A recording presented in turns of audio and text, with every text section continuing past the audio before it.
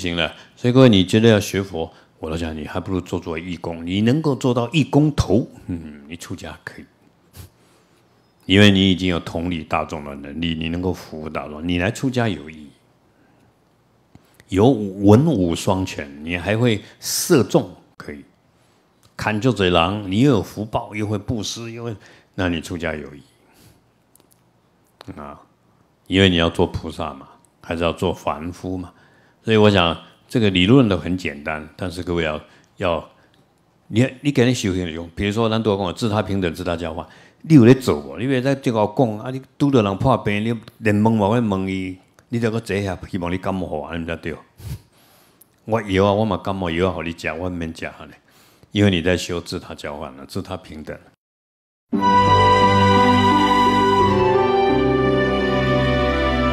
体会佛陀的大慈悲，就在生命电视台。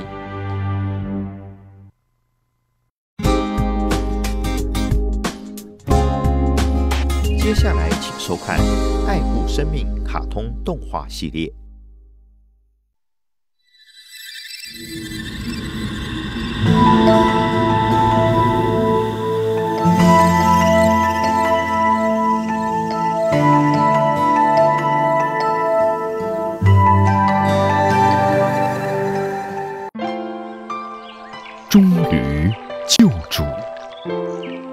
民国初年。有一位姓金的屠户，他一生宰杀的猪只不计其数。哼，叫什么？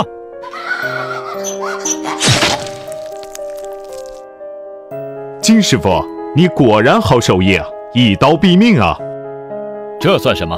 要知道我从事屠宰这行十几年了，死在我手里的猪不计其数，哪只不是一刀毙命啊？哎，嗯。怎么，你不相信我的技术？你的技术我是相信，不过我摇头是因为感叹你杀业太重。杀业太重？是啊，你杀业太多，终究会遭到报应。今生你杀猪无数，来世说不定就会投胎为猪，被人宰杀。哼，我才不相信什么因果报应。哎，以后你会相信的。因果报应，我才不信呢！金屠夫对于因果之说不以为然，依旧继续从事屠宰这个行业。后来，这位金屠夫去世后，他的魂魄来到了阎王殿。金屠夫，你的阳寿已到，快跟我去见阎罗王！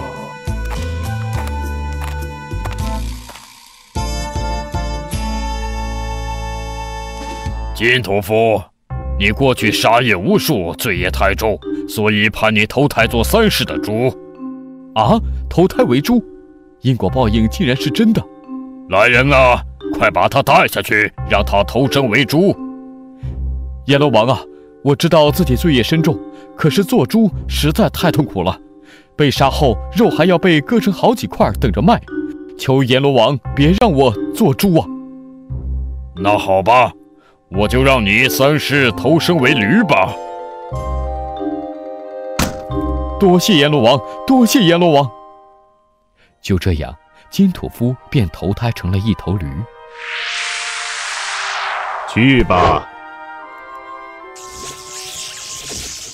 老婆，老婆，快生了，生了。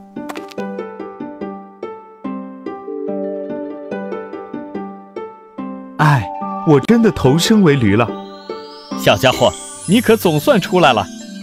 谢天谢地，总算生出来了。这两位就是我的主人啊。过了一段时间之后，金屠夫转胎的驴也长大了，便经常载着主人外出。小家伙，今天我们一起出去办事情吧。老公，路上可要小心，早点回来啊。放心吧，这个小家伙走得很快。傍晚就会赶回来的。嗯。可是很不幸的，这次小毛驴载着主人外出时，却有了危险。他们在路上竟然遇到强盗抢劫。哈哈，小子，要从此路过，留下买路钱。啊，强盗！哈哈，等了这么久，终于有人经过可以抢劫了。你们是强盗？我身上没有钱啊！没钱，没钱就把命留下。好，好，我把钱给你们，求你们别杀我。对嘛，快把钱交出来，交出钱就饶你不死。快跑，快跑啊！给我追，别让他给跑了。小家伙，快跑啊！要是被他们追上，我们就死定了。不要跑，快给我站住！还想跑？等我们追上你，非把你剁成肉酱不可！金土夫转世的小毛驴载着主人跑到一个路口，情急之下，他随即朝其中一条路跑去。可是没想到这条路的尽头竟是一条河流。啊，这该往哪里走呢？小子，还想跑？我看你是活够了！就走这条路吧。啊，是河，这要怎么办啊？现在已经无路可走了。天啊，难道今天注定要死在这伙强盗手里吗？前面是条河，他没有路可走了。哈哈，等我抓到他，非砍了他不可。这都是因为我选错路，才害主人走投无路的。不行，我一定要救主人。看来我今天是要死在这里了。我一定要救主人，我一定要救主人。驴子这样想着，随即奋力地跳进了河里。这头毛驴，它不要命了，竟然跳进了河里！哼，河水这么深，绝对会把它们淹死的。哎，到手的买卖就这么没了。我们回去吧。在毛驴的努力下，主人终于逃到了对岸，但毛驴却不幸淹死在河里。小家伙，小家伙！金土夫投胎的驴子在死后，其魂魄又来到了阎王殿。阎罗曾判我三世为驴，现在还剩两世。金屠夫，你将再次投胎转世为人，且还能担任一个小官职。什么？阎罗王啊，你不是要判我三世为驴吗？是啊，你前世杀生无数，按理的确应该三世不得投胎为人。不过你投生为驴时，曾救了你主人的性命。以这样的功德，使得你将再投胎转世为人。原来是这么回事啊！希望你投胎为人后能珍惜向善，不要再做杀生这样罪业深重的恶业了。是的，谢谢阎罗王，谢谢阎罗王，我会记住的。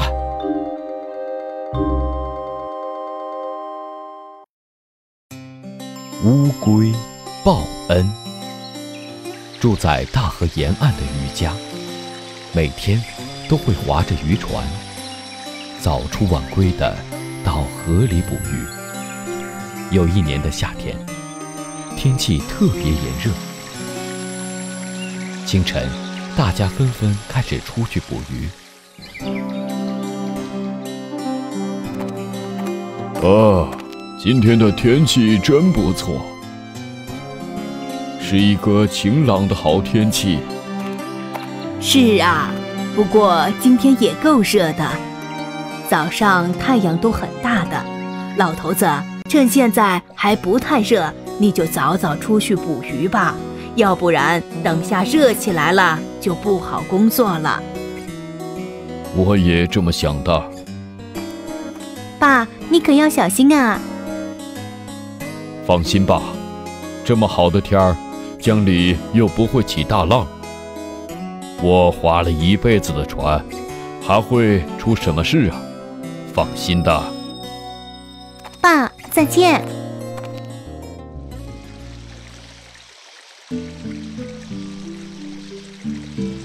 张爷爷，今天收获如何啊？哎，今天下网三次，只抓到了几条小鱼。你呢？收获怎么样呢？我也没抓到多少鱼。今天这河里的鱼好像都躲起来了似的。怎么，你们也没多少收获？我也是啊，看来今天还得再多撒几次网才行啊。是啊，我去那边看看能不能抓到更多鱼。我也得换个地方，刚才在这里撒了网，什么也都没有。然而，大家谁都没有想到，早晨晴空万里的好天气，到了下午，竟突然乌云密布。哎呀，这天好像要下雨了啊！张爷爷，好像要变天了。你看天上的乌云越聚越厚了。是啊，我看我们还是赶快回去吧。嗯，要是一会儿下起雨来，可就糟糕了。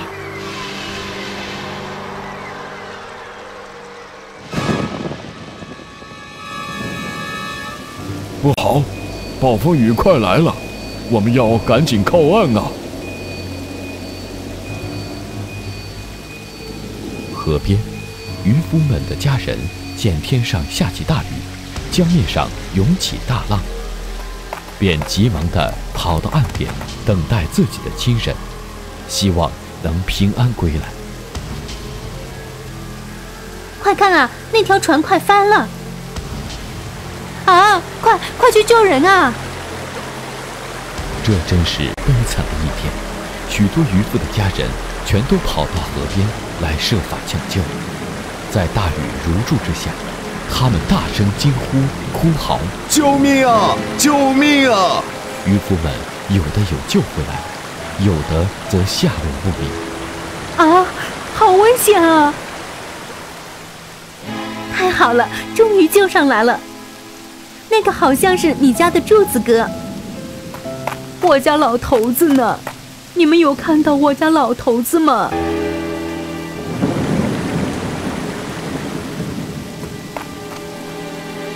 老公，我很担心你回不来啊。不要哭了，我这不是没事了吗？大叔，你有看到我爸吗？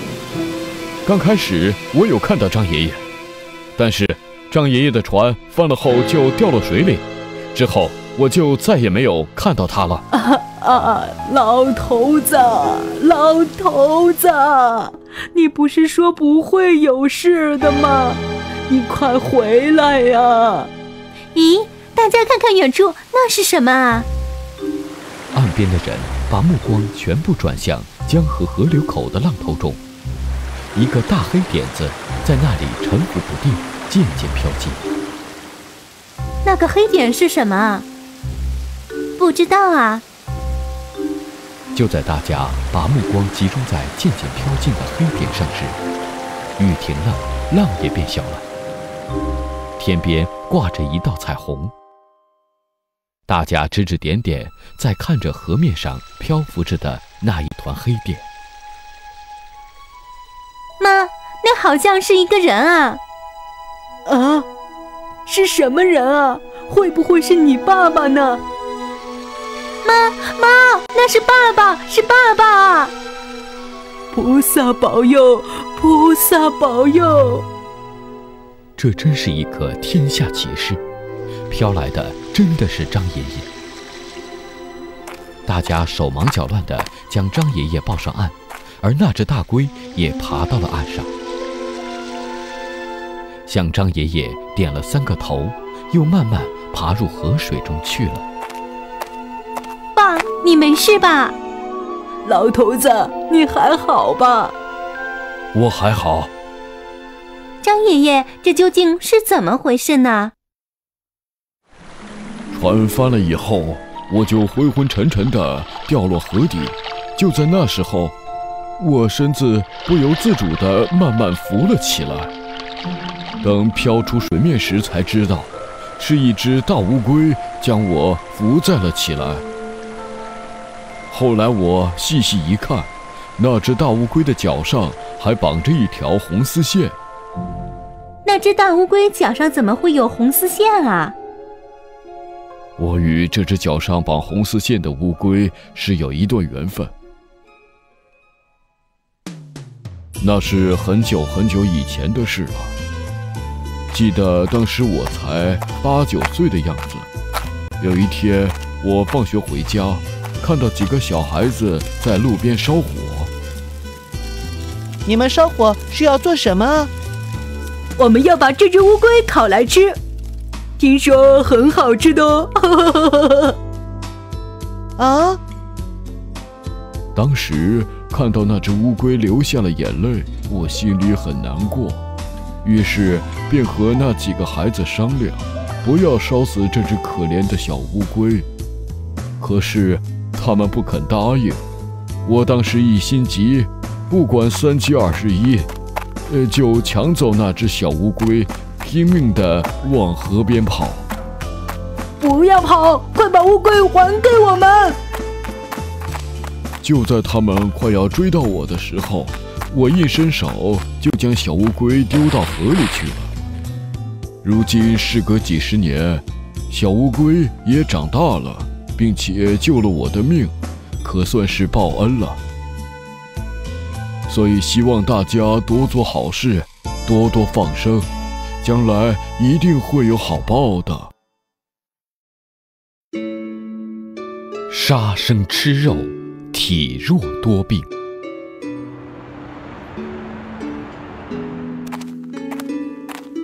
先生、小姐，你们好，请问你们想点些什么呢？小姐。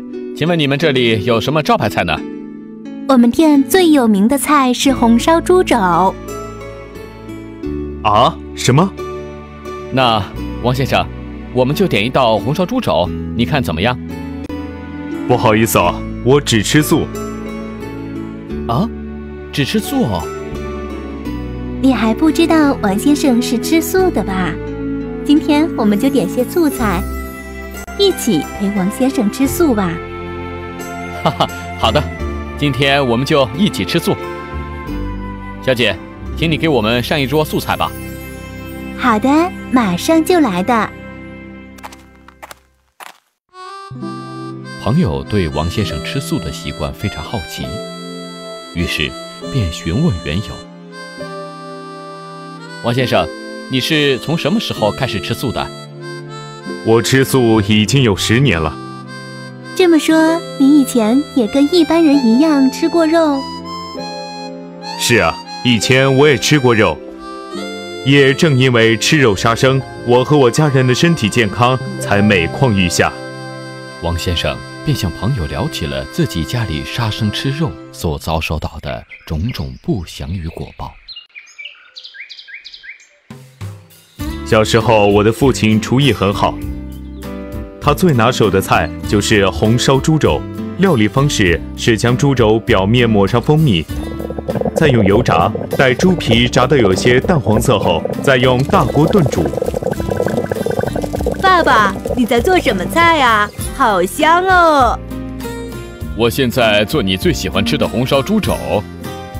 真的呀？太好了！红烧猪肘我最喜欢吃了。哈哈哈哈。那时候，我们全家人都喜欢吃父亲做的红烧猪肘。不过，我父亲自己最爱吃的是螺蛳。爸爸，我又捞到一个了。呃，多捞点儿。等会儿回家我们就做来吃。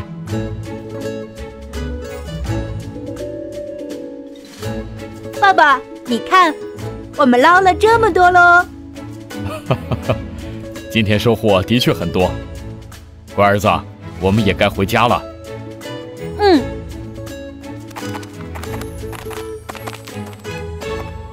这些螺蛳带回家后，会先养在水缸里，两天两夜不给它们吃任何东西，好让它们吐沙。爸爸，这些螺蛳什么时候才能吃啊？现在它们肚子里有好多泥沙，我们要先放个两天两夜。让它们肚子里的泥沙吐干净了，才可以来料理。等螺蛳把肚内的泥沙吐干净后，父亲就会用老虎钳活生生的把螺蛳尾部夹碎，这是为了吃的时候方便食用。爸爸，这些螺蛳都吐了两天沙了，应该已经吐干净了吧？嗯，我们现在可以把它们煮来吃了。太好了，现在就来煮吧。别急，我们还要先把螺蛳的屁股夹碎。爸爸，为什么要这么做啊？如果夹碎螺丝，他们一定很痛的。儿子，只有把他们的屁股夹碎，煮熟后吃起来才方便啊。哦，原来是这样啊。就是因为我父亲爱做猪腿，又喜欢吃螺蛳。后来终于果报现前，使得他常常在走路的时候，两只脚常不听使唤，不是抬不动，就是停不下来。医生，我的脚究竟是怎么回事？总是不听使唤。我给你开些药吧，这种是特效药，擦了以后很快就会好的。那真是太好了，谢谢医生，谢谢医生。但谁也没想到，我父亲在擦了药之后，两条腿竟然肿胀起来了，非常离谱，看起来就像是刚做好的猪肘子一样。后来我父亲又罹患了一种怪病，让他的手脚一直忍不住的颤抖，那种情景与被他夹掉尾巴的螺蛳一样，痛得颤抖难耐。爸爸，你怎么了？我送你去医院。医生，我爸这究竟是怎么回事？你父亲得了帕金森氏症。啊？哦哦哦哦后来我自己也因为杀生吃肉而遭受恶果。在读书的时候，我得了两次忧郁症，前后痛苦了四年，才渐渐好转。真没想到，杀生吃肉竟然会有这么严重的报应。是啊，所以后来我才因此学佛，并且开始吃素，那种惶惶不可终日的感觉就渐渐消失了。身心也慢慢安定了起来。那您父亲的病情后来怎么样了？我父亲患上这些病，都是因为杀生吃肉的果报。所以我就替父亲忏悔，不仅忏悔杀生的恶业，更忏悔我们用残忍的方式烹煮，害得这些众生苦不堪言。我父亲后来也知道因果可畏，所以跟着我发心吃素。这样持续了一段时间后。他老人家的病竟然全都好了。哎，看来杀生吃肉真的不能做啊。是啊，我们也得为自己过去的行为忏悔，以后不要再杀生吃肉了，否则果报迟早会降临到我们身上。先生，你们点的素菜来了。王先生，今天听了你的故事。我决定以后不再杀生吃肉了。我也想试着跟您一起吃素。对，我们一起吃素。这样做既拯救了众生，又救了自己，何乐不为呢？对的，对的。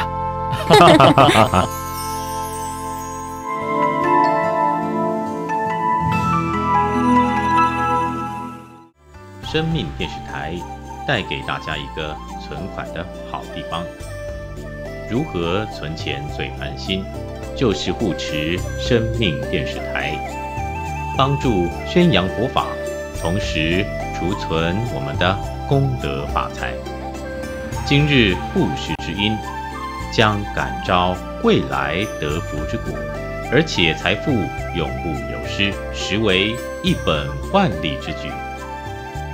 劝人布施不持，就是助人为善。助人修福是值得赞叹的菩萨行。正信佛陀法教的推广，需要众多护法菩萨的同心支援。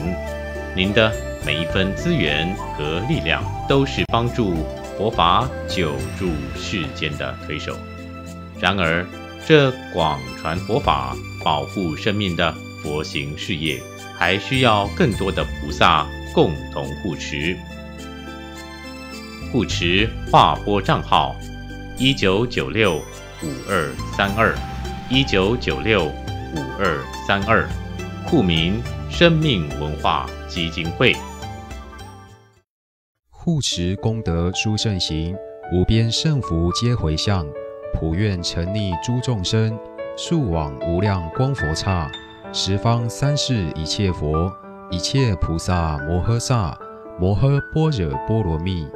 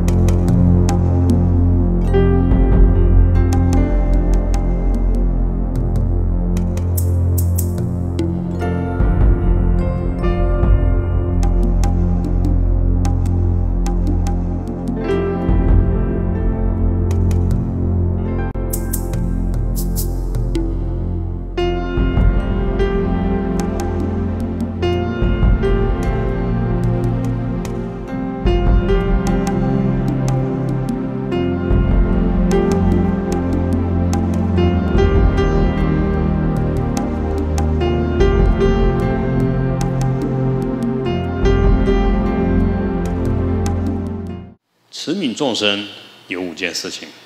第一个，见，所以各位要去看，要去观，观世音菩萨叫我们去观世间的苦。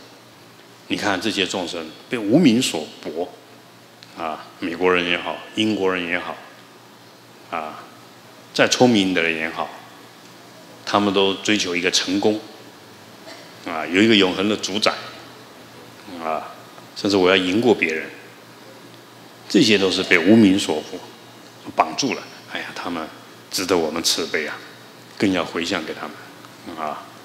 第二，建筑众生为众苦所缠，每一个众生都在这种生老病死、爱别离苦里面，甚至现在环境污染、电脑、电视污染，特别生病的人、被情所困扰的人、缺钱的人，各位要一一的去思维。欧玛尼贝贝，欧玛尼，一直思维苦，一直强烈的。